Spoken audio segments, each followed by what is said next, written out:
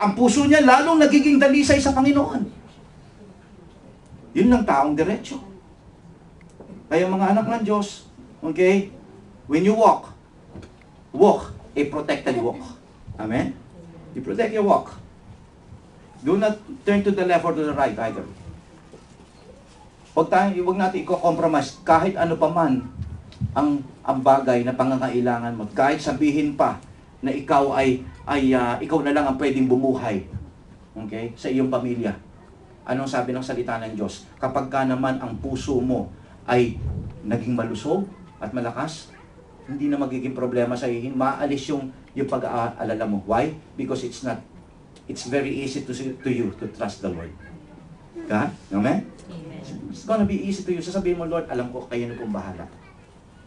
Alam ko, Panginoon, mas nakikita mo. Bakit? Minsan kasi, eh, kahit na nagtrabaho-trabaho ka, pinapatay mo na yung sarili mo sa trabaho. Okay? May pagbabago ba sa Pilipinas?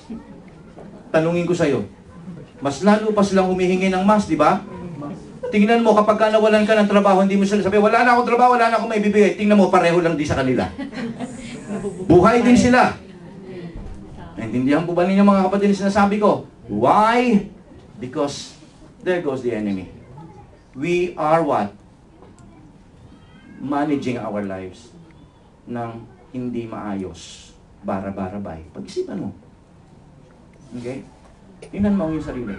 Sapagkat hindi natin alam, baka ginagamit ng Diablo yan para ikaw ay ano, ay magkasakit sa puso.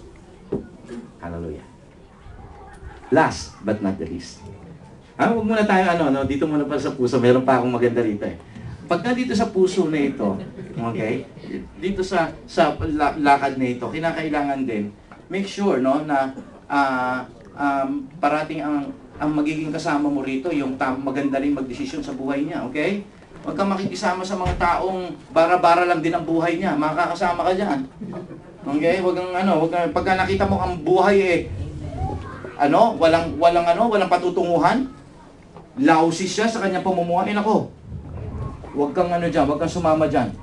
Dahil naniniwala ako pagka sinasamahan mo na yan, okay, ay umaayon ka na rin dyan. Right? Aayon ka eventually. Sabi po ng Amos, chapter 3.3. Tingnan po ninyo. Can two walk together? Sabi niya, except or unless they be agreed. Kita mo ninyo? Kaya, wag mo sabihin, eh, pastor, kaya ko naman sinasamahan yung mga kaibigan ko na mga kabarkada. Gusto ko silang madala kay Lord. Ang galing. Makikita mo yung sarili mo, ikaw ang madadala nila eventually. See? Huwag kang sumasaw sa kanila. Do not turn to the left, do not turn to the right. Okay? Palitan mo yung mga barkada mo. Pwede yung samahan mo sila, okay? Ah, pagka halimbawa birthday niya para abutin mo lang siya pero to, to the point na eh kasi kaya lang naman kami nag-disco para maabot ko sila eh. Okay? Nakitagay lang naman ako para naki, mara, makita nila nakikisama ako, pastor. Okay? Ang gusto ko isipin natin dito, mga anak ng Diyos, okay? Ah, ang akala natin walang effect ito, okay? Ang effect nito sa puso. Okay? Wala tayo. Ang matindi, ito naka, itong tricky sa puso ng spiritual heart natin. Ang tricky rito is, parang walang nangyayari sa'yo. Parang it seems na mainit pa rin ako. Pagka Sunday, nasa church naman ako. Pagka may gawain, nandun ako. Itong tricky part dito. Pero magugulat ka, bigla na lang si brother o si sister, wala na sa church. Bakit? Ang init-init niya! Bakit?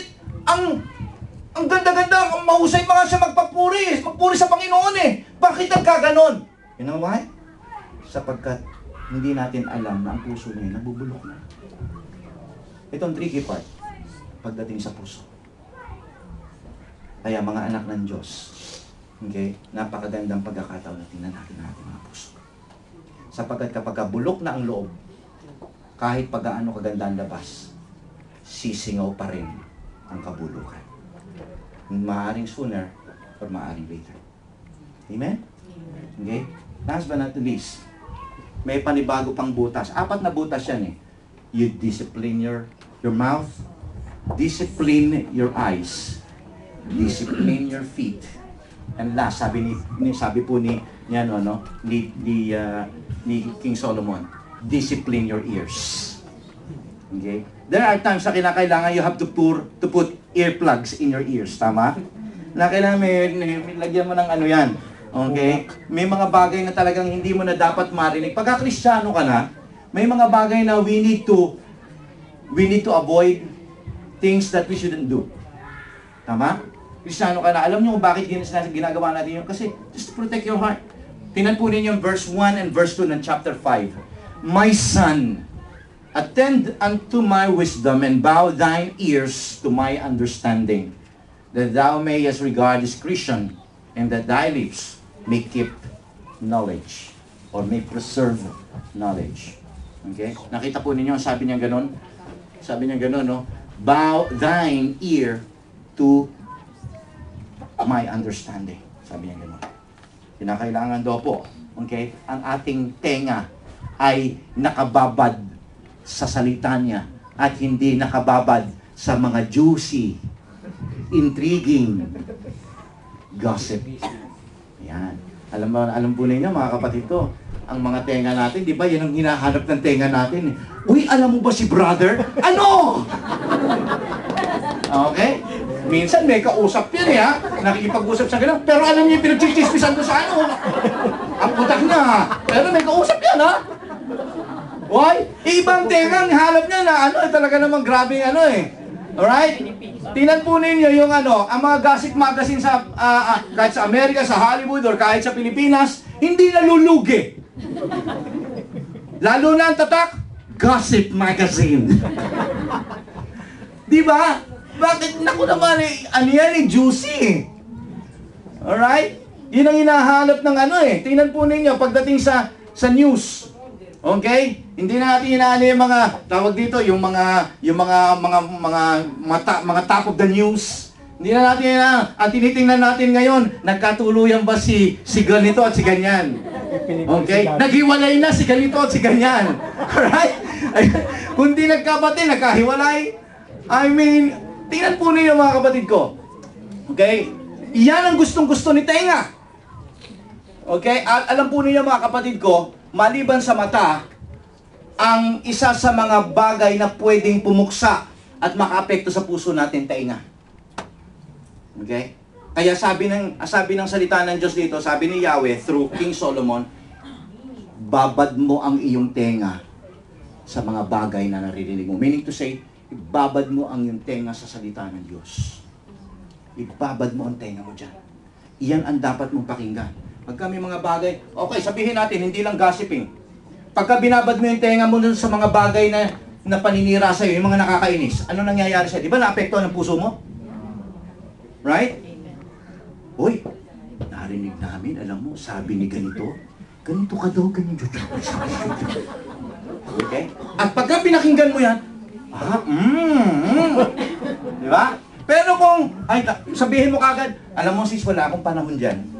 Ano, sabihin na nila kung ano sabihin sa, pero wag mo na ayoko marinig yan.